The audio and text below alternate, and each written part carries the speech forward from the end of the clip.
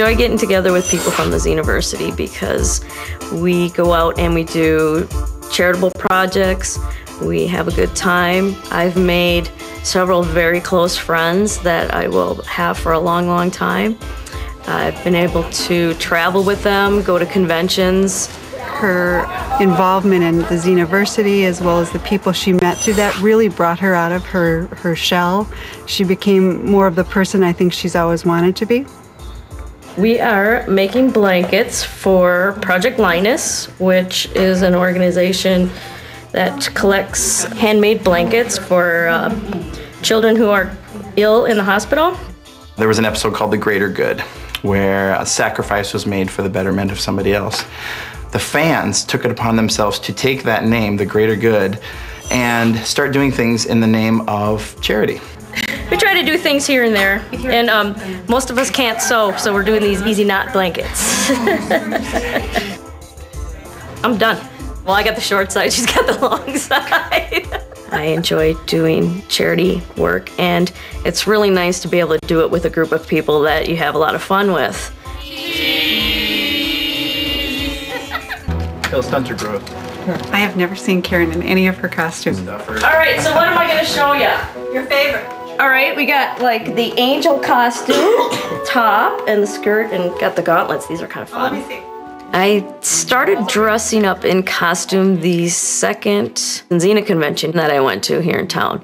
The first convention I went to, I went with two friends and they both dressed up and it seemed like they were having an awful lot of fun. So the next year when the convention came to town, I had a costume.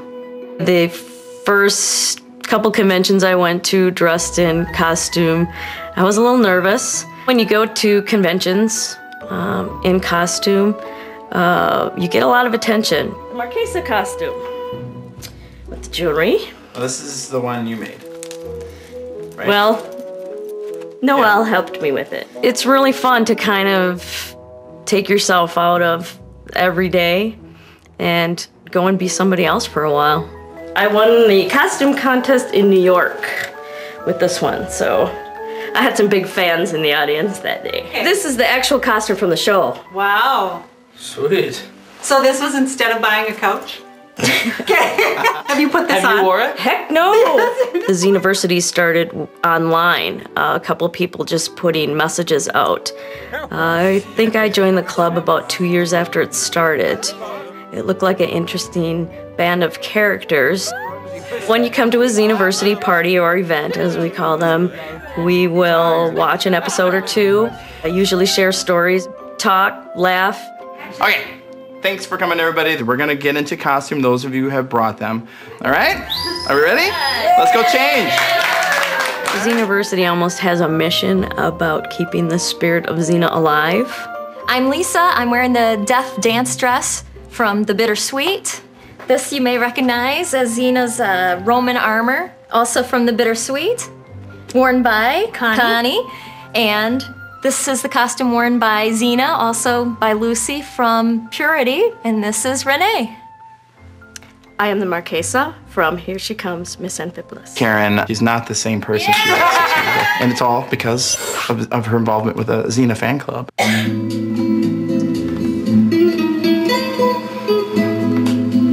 I describe myself now as pretty outgoing. I do have an introvert side, but uh, I would say over the last year or so, I'm, I'm becoming more of an extrovert.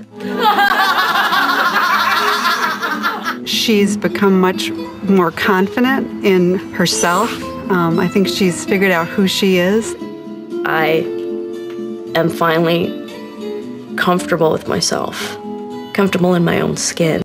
I'm currently seeking a partner. She hasn't found that right person yet. But I know with the exuberance and the level that she's at in her life, she's gonna find that person. Xena has taught me that you should live life. Like living life with gusto. Bottom line is, I want to be happy.